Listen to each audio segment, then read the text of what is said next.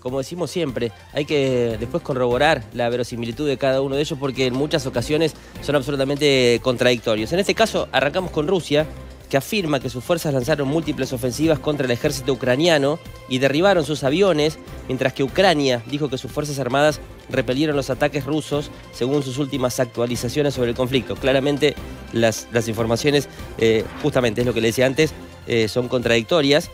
El ministro de Defensa emitió un informe que afirma que las fuerzas rusas en varias direcciones, incluidas Kupiansk y Krasny Liman, repelieron los múltiples ataques ucranianos y lanzaron tantísimas ofensivas, destruyendo 18 tanques, 13 vehículos blindados, 29 vehículos, artillería autopropulsada y otros elementos militares.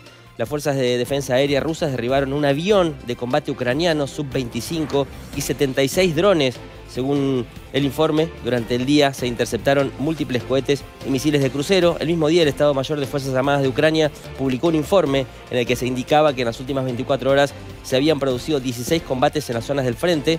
Las fuerzas rusas atacaron posiciones ucranianas en la margen izquierda del río Dnieper, pero fueron repelidas por las fuerzas ucranianas.